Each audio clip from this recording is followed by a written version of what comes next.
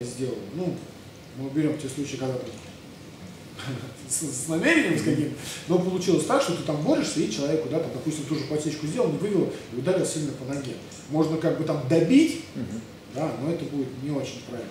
А можно как бы там, да, ручки поднял, показал, что там типа извини случайно, и типа там простил, простил, все, понеслось дальше. То есть это ну, вежливо, вежливость у нас а как бы есть. Э, в спорте, дзюдо как в спорте, вы вежливый борец? Были или есть? Интеллигентный. То есть я не зарубаюсь, я не угнетаю, я не стараюсь кого-то прибить. Я, я сейчас у меня прям хотите, чтобы один из кодекс скромности я нарушил. Не, ну, если нет, опять-таки скромно, ну, ладно, что если, да, если, если, скром, если, если это скром, факт. Да, если не скромно говорить, то я все-таки считаю себя там, ну, довольно-таки техничным а, спортсменом, да, не сколько а, физически сильным, а Нет, не сколько... ваша подсечка в финале абсолютно чемпионата мира 2001 да, года, да, да, я это вот, шедевр. Да, я, я как бы техничный, поэтому я никого не сжираю, а, я более технично борюсь. Я человека поймаю, э, ну, выведу его там, своими какими-то захватами или перехватами а, на удобную мне позицию и проведу прием. И я от этого, скажем так, кайфанул, да, и а, не, скажем так, унижу спортсмена. То есть я покажу, что да, я там технично более, более технично. Да, я опять же приведу, привожу часто пример а, финал чемпионата Европы в Челябинске 2012 э, года. А, я с Барном Бором боролся много раз, до этого выиграл, потом на какой-то промежуток, видимо, как бы вот он хорошо поработал над этим, и мне стало тяжело с ним бороться, реально тяжело. То есть, да, последние там две, по-моему, три встречи я ему даже проиграл, просто вот как. И здесь для себя я выработал другую стратегию борьбы, посчитал, что ну, я буду бороться по-другому. И я его на этом поймал. То есть, в принципе, схватка, которая чаще всего заканчивалась в конце там, по наказанию или еще что-то, была закончена, по-моему, меньше, чем за 30 секунд. То есть, да, просто я вышел, как бы поставил свою схему борьбы, причем я поставил тренера в известность, то есть это не было такого, что э, я ему сказал, что я говорю, я вот подумал, и я считаю, что так можно. Он говорит, давай попробуем. Развить э, это качество вежливости в занятиях можно? О, само собой. То есть здесь вот мне кажется... Вот видите, здесь, как говорится, вежливость – это уважение других людей. Вот, да, здесь, мне кажется, это как раз, наверное, прерогатива уже в прямом смысле слова тренера. То есть, да, а, потому что ну, на тех же там тренировках, тренировках бывают, когда дети там, да, друг с что-то задираются, да, ты можешь как бы объяснить, чтобы друг другу, да, там, сделали поклон, да, там, ударили по руке, что все нормально, все хорошо, и продолжают дальше там тренировку, все. То есть здесь, мне кажется, тренер да, играет э, большую роль, которая может именно повлиять на а, отношения друг к другу, а, чтобы были они вежливые, а, твои спортсмены, то есть здесь, здесь тренер, я думаю, сыграет большую роль. Ну вот мы, в принципе, обсудили все э, а, такие столпы этого кодекса. Дружба, уважение, искренность, честность, скромность, самоконтроль, храбрость, вежливость. Вот как вы думаете, все вместе, вот это все, это как вы, вы бы могли вот каким-то вот одним-двумя словами назвать? Что ну, это? знаете, что я это? скажу, я, наверное, а, буду банальным и скажу, что вот это вот все, наверное, есть дзюдо, что именно видел Дзигара да, и, а, наверное, и подразумевал под философию, да, вот как раз вот этот вот кодекс всех этих а, качеств человека, которые, на мой взгляд, если а, спортсмен всеми обладает, ну, он априори не может быть плохим. Просто даже человек плохим. Вот, поэтому э, у нас э, вид спорта тот, который действительно как бы делает людей хорошими, если ты э, следуешь кодексу да, дзюдоиста, если ты также разделяешь философию дзюдо, то здесь может быть хорошо. Но это Этому следует уделять внимание, как вы думаете, во время тренировочных занятий? Вы знаете, это все, наверное, больше мечты Дзигаркана. То есть по нашей жизни сейчас другие ценности. Реально другие ценности. То есть, да, сейчас все упирается в одно, в результат. Хорошо. То есть, как вот мы, да, вот до, до, до этого интервью Да, говорили, да. а, на мой взгляд, для того, опять же, сейчас, я думаю, там многие там, тренера, спортсмены просто там меня начнут искренне ненавидеть, но а, уберите подарки, уберите призы, уберите а, вот все, что только связано с какими-то ценностями материальными там, и всем остальным. И а, поверьте, а, в дзюдо останутся те люди, реально, которые разделяют философию дзюдо. Посмотрите, насколько их останется. Много или мало. Когда, Не, конечно, а, их останется гораздо меньше. так о Гораздо. чем мы речь. А, Дети моментально перейдут на другие виды спорта, связанные, опять же, там с единоборством. Не будем далеко ходить. Самбо, который сейчас рвется в Олимпийскую хартию и все остальное. Туда а, люди, которые там функционеры, самбисты, наоборот, поднимут там все, для того, чтобы еще больше дзюдоистов пришло на самбо и все в таком плане. Все. У нас сейчас а, век рыночных отношений.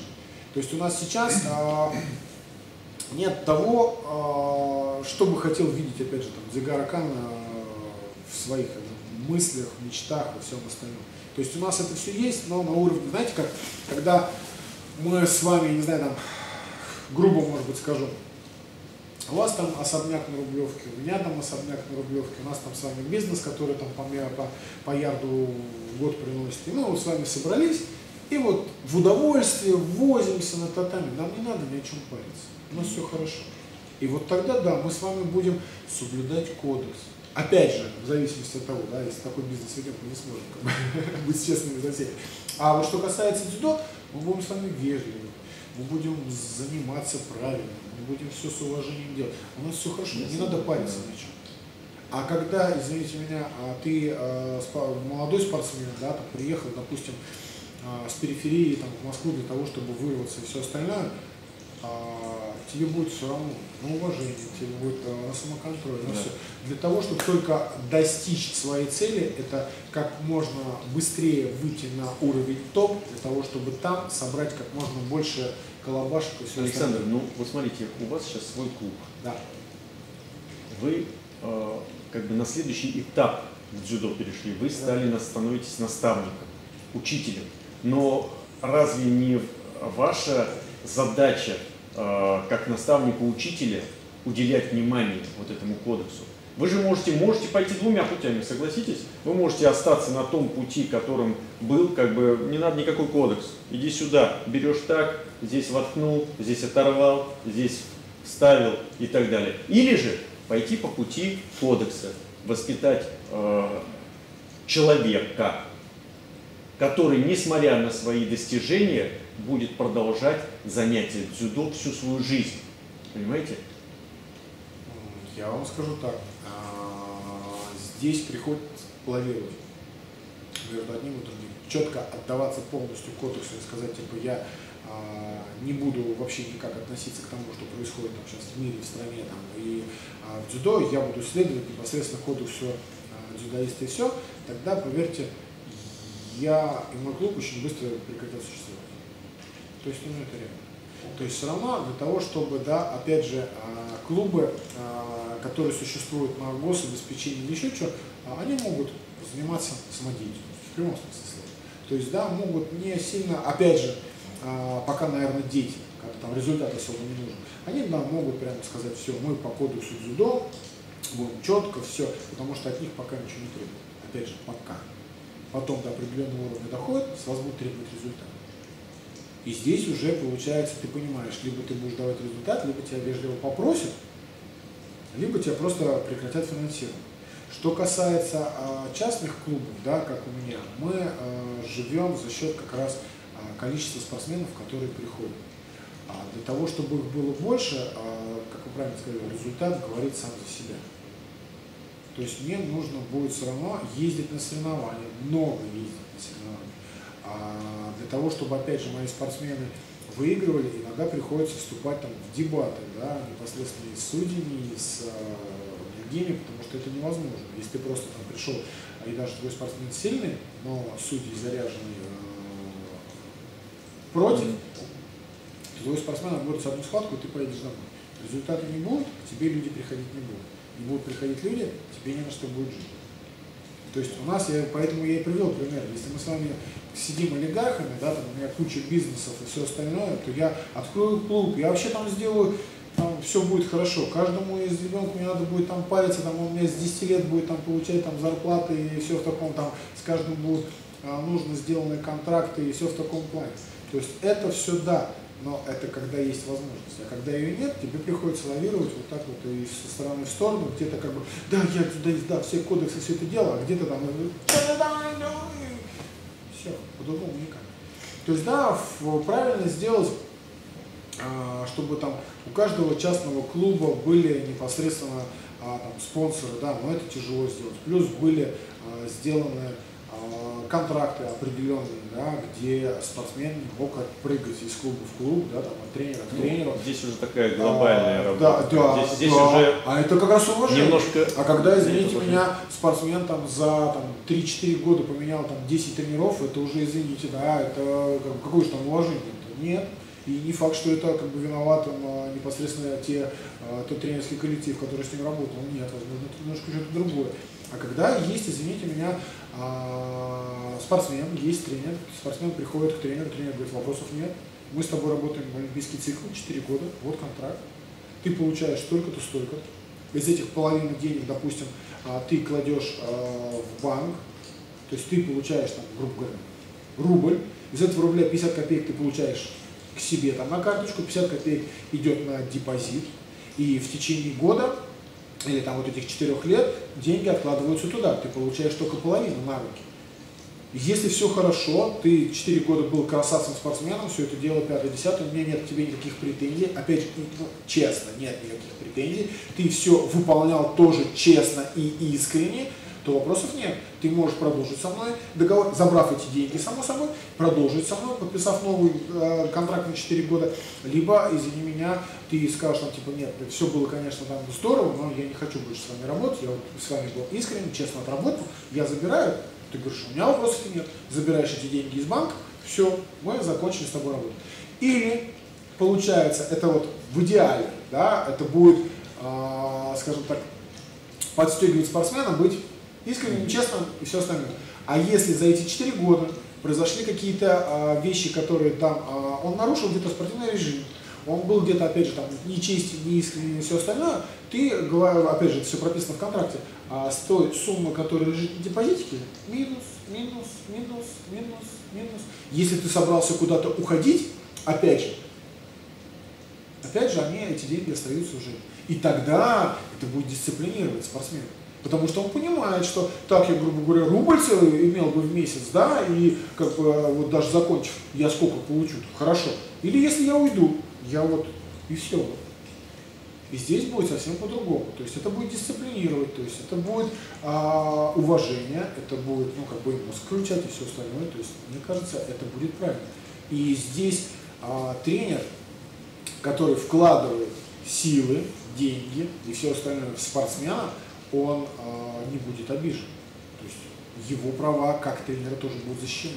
Само собой, это должны быть хорошие юристы, которые сделают все правильно, чтобы это не был кабальный э, договор непосредственно для спортсмена или для тренера.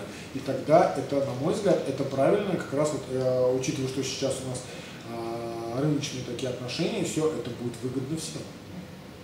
Ну, мы немножко, как бы, может быть, такую более другую тему ушли, да, это реформирование системы, а, просто нет, бы. это получается а... как раз, а, я к чему говорю, а, заключая эти договора и все, мы как раз а, и будем а, спортсмена а, приучать вот к этому кодексу, потому что у него есть определенный договор.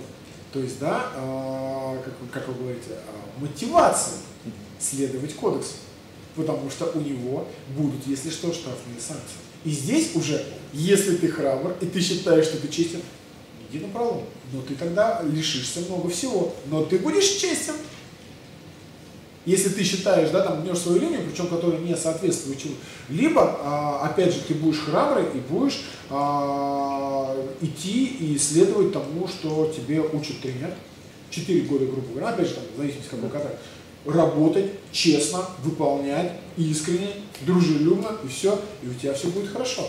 То есть вот он такой скажем так, не совсем естественный, но мотиватор спортсмена следовать кодексу дзюдоиста. Ну, вот на этой, наверное, и ноте э, все-таки, да, в конце вы сказали, все-таки дзюдоист должен следовать этому кодексу Да, да. для того, чтобы говорить, что он дзюдоист. Э, Пусть как бы даже не вот полностью, но стараться следовать. Ну, чтобы- как говорится, мы не все как бы идеальны, поэтому мы сам- самосовершенствуемся день изо дня. Согласен? Приходите на дзюдо, несмотря ни на что. Однозначно. С вами был Александр Михайлов. Вы смотрели «Планету дзюдо». До Дзюдо свидания. больше, чем спорт.